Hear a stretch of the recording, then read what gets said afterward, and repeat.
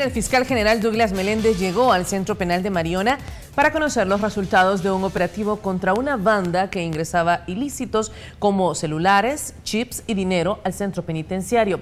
Resultaron implicados 35 reos, pero también 6 custodios. Se ha procedido a la detención de seis custodios, seis custodios.